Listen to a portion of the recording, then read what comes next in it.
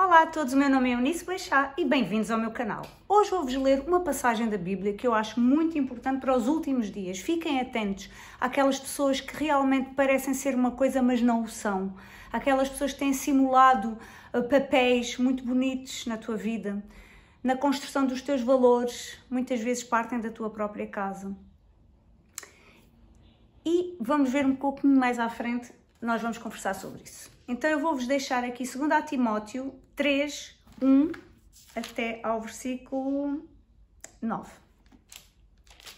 E vou começar por ler. Fica sabendo que quando chegarem os últimos tempos, hão de vir momentos difíceis. Os homens serão egoístas, gananciosos, pretensiosos, orgulhosos, blasfemos, desobedientes aos pais, mal agradecidos e descrentes. Serão gente sem amor, nem espírito de colaboração. Serão caluniadores, desonestos, desumanos, inimigos do bem, traidores, insolentes, duros no entendimento e mais amigos dos prazeres do que de Deus. Têm aparências de piedade, mas renegam a sua verdadeira força. Foge também deles. Quem serão essas pessoas? Já pensaram? Ao número destes pertence igualmente os que andam pelas casas e enganam pobres mulheres carregadas de pecados que se deixam levar por um desejo qualquer. Elas frequentam sempre a instrução religiosa sem nunca conseguirem chegar ao conhecimento da verdade. Do mesmo modo que Janes e Jambres se levantaram contra Moisés, também estes se levantam contra a verdade. São homens de entendimento corrompido e fracos na fé mas não hão de chegar muito longe, pois a sua loucura será desmascarada por todos, como foi daqueles dois.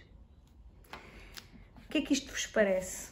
Podemos levar para vários, para vários níveis, para vários sentidos, mas neste caso o que quero vos falar hoje é de pessoas que são egocêntricas, narcisistas, senhores de si, aqueles que se importam apenas exclusivamente com, as suas, com os seus prazeres, com as suas vontades.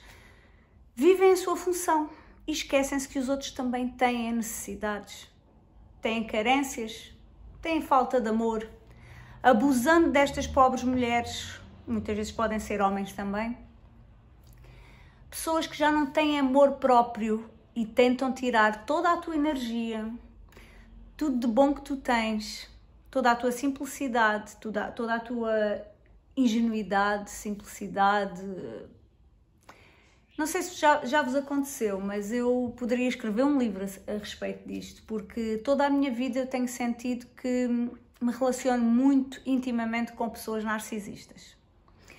Digo isto porquê?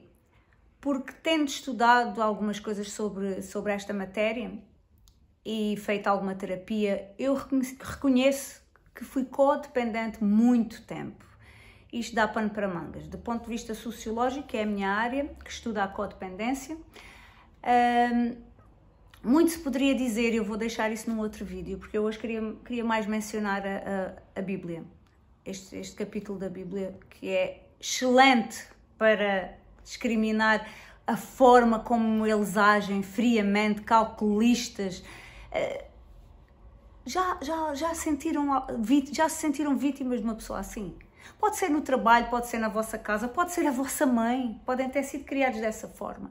E então isto vira um ciclo. Tu não conheces apenas um, porque tu, como uma pessoa empática que és, tu sofres pelo outro, tu ouves o outro, tu, tu olhas nos olhos do outro e estás a sentir a dor daquela pessoa. Mas os narcisistas não são assim. Eles simplesmente só se preocupam em encher-se a si mesmos e retiram tudo de bom que tu tens e colocam tudo de mau que, tu, que, tem, que eles têm para, para nos dar.